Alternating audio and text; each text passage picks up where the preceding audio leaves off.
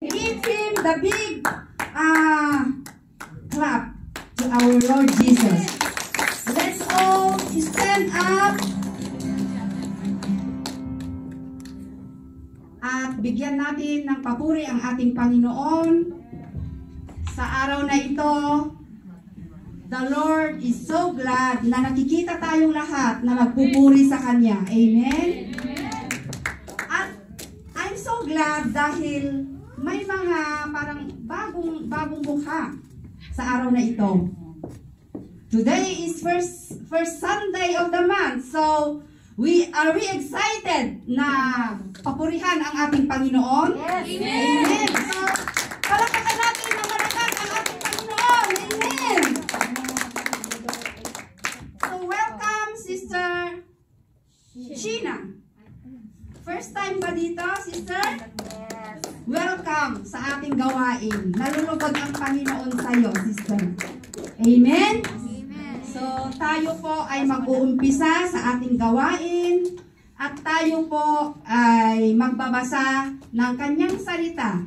Makikita po natin sa Isaiah 9 verse 6 and 7. Basahin po natin na sabay-sabay. Sabi dito, For to us a child is born, to us a son is given, and the government will be on his shoulders, and he will be called Wonderful Counselor, Mighty God, Everlasting Father, Prince of Peace. Of the increase of his government and peace, there will be no end. He will reign on David's throne and over his kingdom, establishing and upholding it with justice and righteousness. From that time on, the, and forever, the zeal of the Lord Almighty will accomplish this. Amen.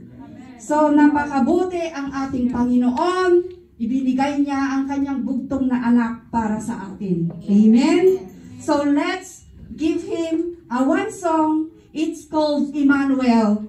So, Emmanuel, it means God is with us. Amen.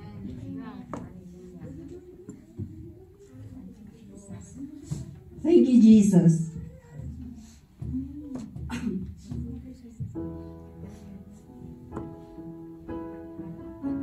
Namnamin natin ang presensya ng ating Panginoon.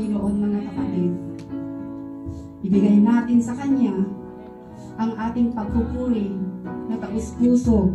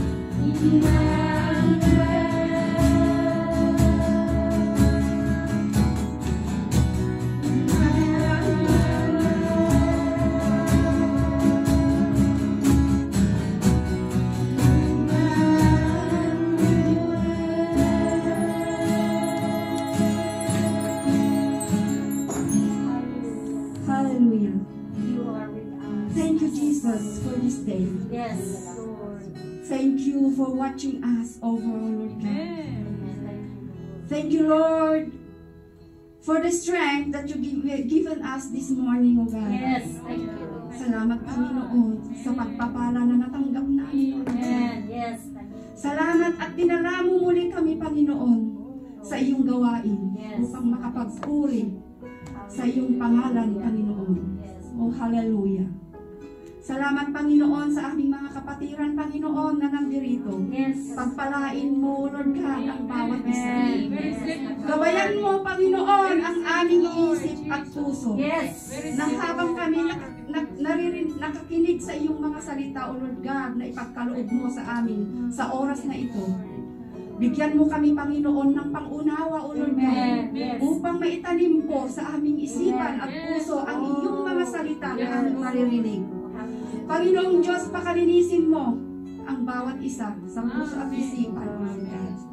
Panginoong Diyos, pagpalain mo ang aming pastora na magbibigay ng iyong mga Amen. salita sa oras na ito, Panginoon.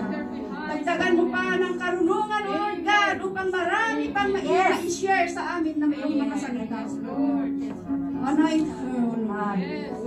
Panginoong Diyos, salamat Panginoon. Yes. At kami po ay nagkatipon-tipon sa oras na ito, O Lord God, upang bigyan ka namin ng the best na papuri. Yes. Oh, hallelujah. Salamat, Panginoon, sa iyong kabuhay, O Lord God. Salamat at ibinigay ng aming Ama ang iyong buhay na si Jesus na ikaw, Panginoon, ang aming salvation. Oh, hallelujah, Jesus. Salamat sa umagang ito, Panginoon. At ikaw, O Lord God, ang itayo namin sa oras na ito. Wala nang iba, Panginoon, kundi ikaw, ang nagngangalang Emmanuel, O Lord God, sa aming buhay. Oh, hallelujah. Panginoong Diyos, salamat. Wala kaming ibang sambitin, kundi salamat, O Lord, sa buhay. Hallelujah. Yes. Oh, hallelujah. Bless each and every one of us, O Lord. At ganun din ang aming mga kapatiran na wala dito, O Lord God. Pagpalain mo sila, O Lord. Yes. At ikaw, Panginoon, ang maitayo sa buhay po nila. Saan man sila Yes. naroon. Oh, hallelujah. Panginoong Diyos, paspasan mo ang aming service na ito. Yes. Hanggang matapos, O Lord Yes. God. Ang gawa ng kaaway ay hindi mo magtatagumpay sa na ito.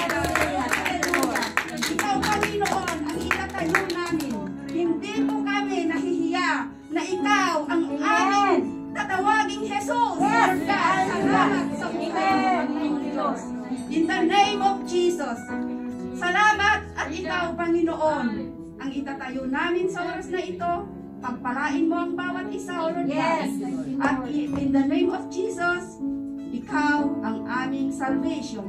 Panginoong Diyos, salamat po sa oras na ito. Ikaw, Panginoon, ang mag-glorify ang iyong pangalan. And we worship you, praise you, in the name of Jesus. Lahat po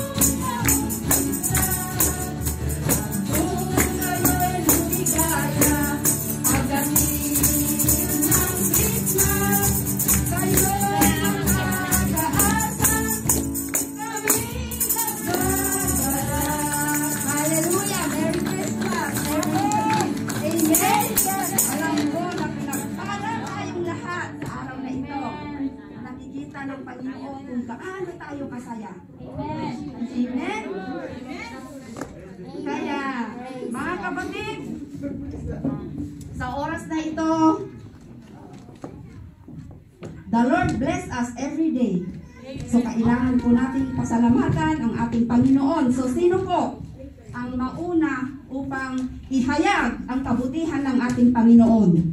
Amen. Praise the Lord. Glory to God. God bless everyone. Ah, I just want to share na yung plano namin kahit wala ako doon yung kasal ni Ria. Smooth, smooth naman ho yung plano niya ngayon. Sa December 23 ang kanyang kasal. Tapos sa Miyerkules yung seminar niya doon sa City Hall. Tapos kay Pastora Nel sa Biyernes. Wow. Pero smooth. Tapos, kaya lang, sabi niya, Mama, sa bandang huli, ikaw ang sagot. Sabi ko, ay, alam ko na yon Sabi ko, sabi ko, sabihin mo lang, mag-message ka sa akin kung paano. Kahit, yung bang kahit wala ako doon, yung pamilya ko doon, nagtutulungan, kahit wala yung presence ko. Pero, ma, napa, nakakaiyak din, hindi ko alam kung kasi ang kasal niya ata, araw ng biyer, ng Miyerkules yun, may pasok. Sabi ko, paano kaya yun, may amo ako. Pero sabi ko, may paraan. May paraan siguro para makita ko ng live yung kwan nila. Tapos nakikita ko yung mga apo ko, nag, nagre, nagde-dress rehearsal na sila kanina. Tapos yung sister di ang magdadala ng Bible. Basta kompleto na.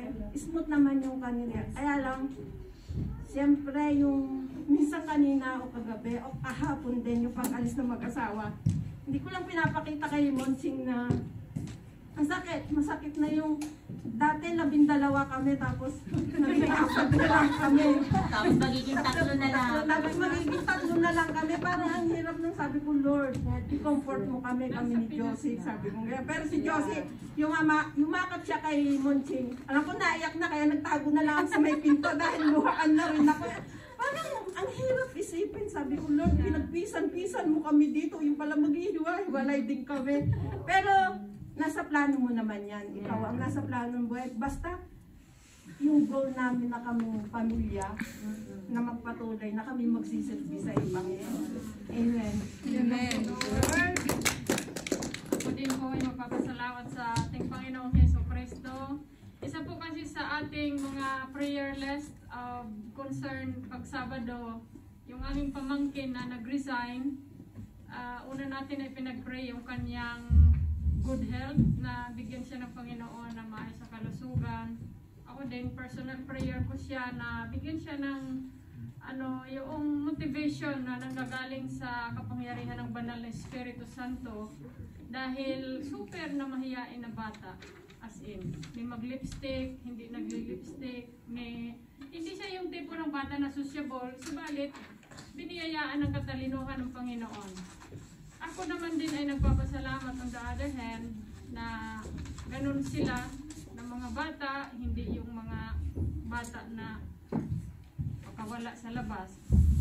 At this time, eh, hiningi ko ng tulong sa grupo ng Saturday Prayer na pagpalain siya na bigyan ng ng work kasi dinidesire niya talaga din na mag-apply makatulong kasi ang mga magulang niya wala ngang maayos sa trabaho dala sa COVID. So, nangyari, sabi ko, Panginoon, isa talaga na kapag ako'y nagpa-fast, isa siya sa aking ah, mga dinudulog o linuluhod sa Panginoon. Kaya kahapon, kausap ko yung hipag ko, sabi ng hipag ko na natanggap na daw sa work at sa Makati. Sa Makati siya mag-work. And then, ang dami daw talagang ano, yung mga in-apply niya pala, lahat pala talaga siya tinatanggap. Pero ito daw na offer na ito sa kanya, mas malaki daw ang sahod. Kaya ikinonsider niya ito. And then, ang ginawa nila magkuya, nag-explore sila sa place kung paano ang kanya magiging transportation. So, ang advice ko sa hipag ko na kung po pwede siya na makauwi ah, araw-araw para mapangalagaan lang yung kanyang kalusugan, mas prefer natin na siya mag-uwian kaysa mag-board. So, sabi ko naman na kayong nakakaalam, kayong nariyan, kung anong makabubuti, ang priority natin na mapangalagaan siya sa kanyang kalusugan dahil sa yung tipo ng bata na kapag nag-work, babad. So, salamat sa Panginoon. Kanina, sabi ko sa sarili ko na tawagan ko sila bago ako umalis. Nag-alala nga ako na baka ako'y malate, pero purihin ang Panginoon na hindi ako na late. At nakausap ko sila. I was so happy na sa kanilang bahay na malaki, lahat ng mga lalaki nandun sa isang room, lahat ng mga babae nasa isang room. Nagkakainan yung dalawa kong pamangkin, magkaharap sa lamesa, at ang dalawa kong kapatid nanonood ng telebisyon. Ako'y nagpuri sa Panginoon dahil sabi ko nga sa kanila na it is possible na sa magkapatid po pwede kayo magsama sa isang bubong.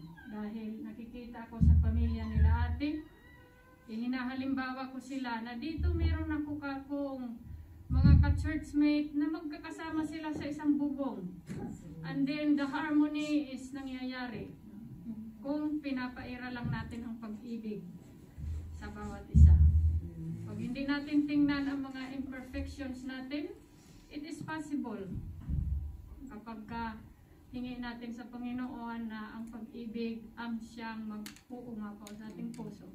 So sa akin, ang ginagawa ko sa kanila, pinangangaralan, and then on my part, I am the one interceding that the Lord will bless them na mag-umapaw ang pag-ibig ng Panginoon sa mga. Kaya purihin ang Diyos. Kanina nakita ko sila, masaya ako na nakikita ko mga pamangkin ko na andoon kumakain sila magkarap. To God be the glory.